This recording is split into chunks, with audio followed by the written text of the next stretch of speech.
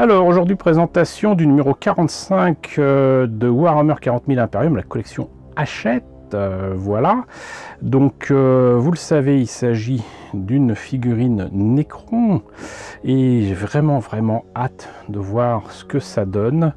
une grosse bébête et de voir les pièces et ensuite de voir ce que nous raconte le fascicule. Alors, qui dit grosse bébête dit gros socle, hein, voilà. Donc euh, pas sûr que j'utilise tel quel, mais c'est là.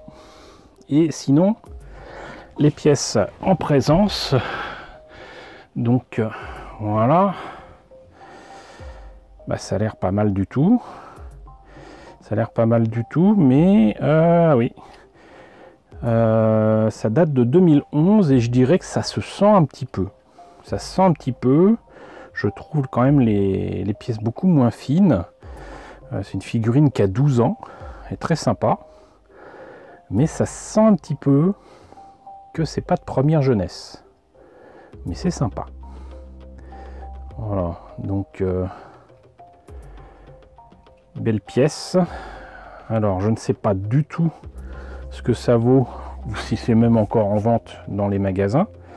Mais à mon avis, c'est pas euh, une pièce qui est donné. Mais euh, on va voir ça, je vous mets ça sur l'écran. Et en attendant, euh, moi j'aimerais bien quand même savoir euh, ce que nous raconte justement le fascicule. Alors avant d'en savoir plus sur ce spectre canoptech, parce que j'ai pas dit non depuis tout à l'heure, ça me revenait pas, je vous avoue. Mais avant de vous présenter tout ça, il y a encore une fois un dépliant avec euh, des Eldari, des Drukhari, des Tyrannides en Pyrto, avec une petite carte stellaire qui va bien. Voilà, une expansion constante, l'Empire Xeno et la déferlante extraterrestre. Tout dépend du point de vue, hein, qui était extraterrestre ou non. Les orques, euh, bon, c'est vrai qu'ils font pas. Euh, mais le fait est que donc on a un beau dépliant qui encore une fois n'ayant rien à voir avec ce que nous raconte l'Imperium puisque c'est quand même essentiellement donc euh, les Nécrons contre euh, l'Empire euh, on va dire terrien quoi. bon, ça fait un peu pub hein, quand même. Très jolie photo mais quand même. Donc numéro 45. Hop. Qu'est-ce qu'il nous raconte de beau? Le premier des trois spectres Canoptech, on avait vu ça avec Seb effectivement, vient renforcer votre Légion Necron. Vous découvrirez également l'Astra Militarum, les soldats de première ligne de l'immense impérium de l'humanité. Par ailleurs, ce numéro s'accompagne d'un superbe dépliant vous présentant plusieurs races xéno ainsi que le territoire de l'Empire Tau en pleine expansion. Ok, et donc effectivement, on aura trois spectres Canoptech et euh, ça permettra de les mettre dans, différentes positions, j'ai l'impression. Et qu'est-ce qui nous réserve? Des faisceaux transdimensionnels carrément. Une enveloppe spectrale et des projecteurs de particules. Ok. Donc là, on a l'affiche de ce personnage. Encore des choses concernant l'Adeptas Sororitas, armes et équipements. Hop nom d'armes de mêlée de l'Adeptas Sororitas. Euh, ordre du cœur valeureux, le fléau béni. Heure hospitalière, c'est fou ce qu'elle a l'air hospitalière, effectivement. Euh, ordre du suaire d'argent, carrément. Le fer de lance argenté, enfin l'astra militarum, avec des humains qui ressemblent à des humains. Les régiments. bon, bref. Et euh, assemblage du spectre Canoptech coupé, ne pas coller et les modules. Ok. il y a quand même pas mal de choses à coller, mine de rien. Donc effectivement, il faut faire gaffe. Et euh, bah, c'est une grosse bébête euh, mécanique, quoi.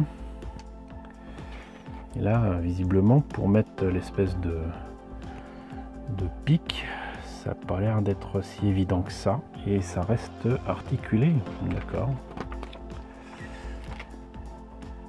Et pièces supplémentaires, d'accord, ça c'est intéressant. Les pièces supplémentaires, moi j'aime bien les pièces supplémentaires. Et le spectre Canoptech peut avoir plusieurs armes différentes. La figurine présente dans les guides d'assemblage et de peinture de ce numéro a été montée avec une arme de tir de type projecteur de particules et une paire de griffes acérées.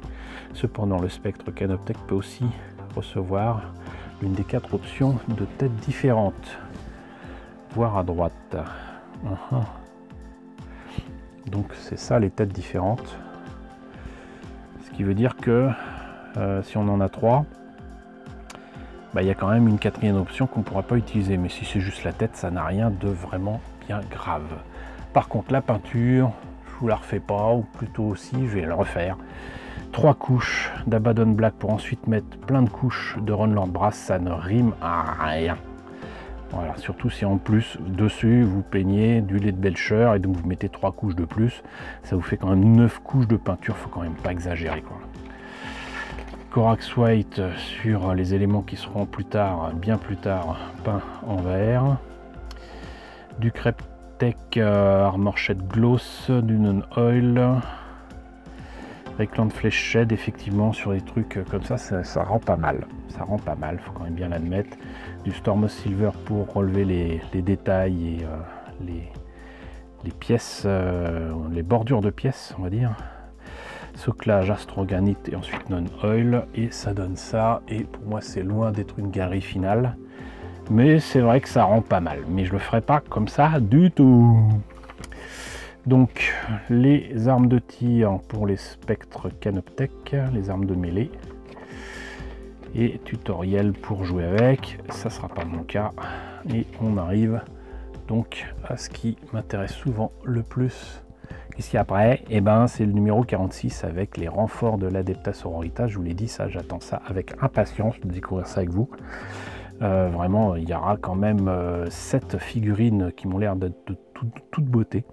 Par contre, le numéro 47, euh, peut-être un peu moins. Quoique, vu le prix des, pots de peinture actuellement, les deux pots donc de Pink Aurore et de Wild Rider Red euh, bah, ça sera peut-être pas du luxe, entre guillemets, mais bon, on verra ça.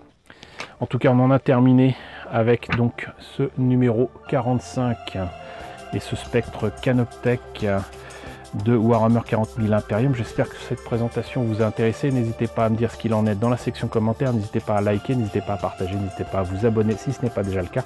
Coucou aux nombreux abonnés qui nous ont rejoints ces derniers temps. Merci ici. Coucou aux grands anciens qui me suivent depuis 7 ans. Merci à tous de votre fidélité. Merci à tous de votre soutien sur Tipeee et sur Paypal. Surtout prenez soin de vous. Je vous laisse avec la liste des contributeurs de la chaîne et je vous dis à très bientôt pour la présentation des numéros 46.